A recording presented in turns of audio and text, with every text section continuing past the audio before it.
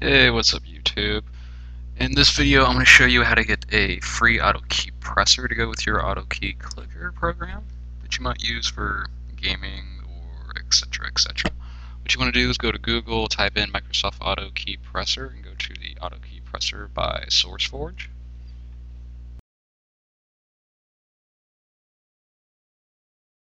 Scroll down here to the download tab and click on it. should give you a program that looks like that. Otherwise, it looks like this. And all you gotta do is go to the settings here and decide what key you want to be pressed. Time you want to be pressing it, like 7 seconds, 10 seconds, 2 seconds, whatever, you know.